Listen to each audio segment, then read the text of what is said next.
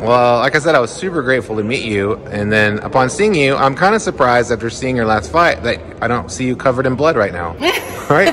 what was that like? Was that weird Yeah. as it happened? Because watching it, and I've been covering combat sports for a long time, I was like, that's a lot of blood. yeah, it was a lot of blood for everyone. I think my coach, Mike Brown, who's obviously a legend in the sport and has been around as a fighter and a coach for years, said it's the bloodiest fight he's ever seen. Yeah. And I mean, he's like Dustin Poirier's coach, too. Right. So if it's the bloodiest fight he's ever seen, then I know it's pretty bloody.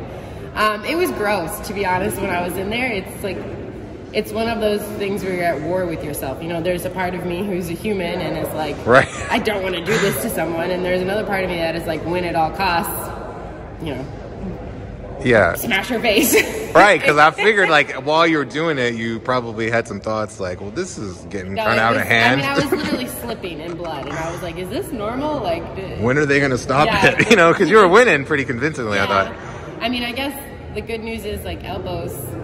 Elbows really make Yeah, wow. really different for me. Um, so that was an exciting part of fighting in Invicta last year, Mm. for sure. Was just seeing the difference of the damage that I'm capable of doing when Yeah.